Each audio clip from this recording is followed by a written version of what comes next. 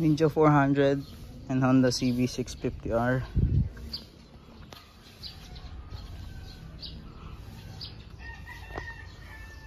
Cold start.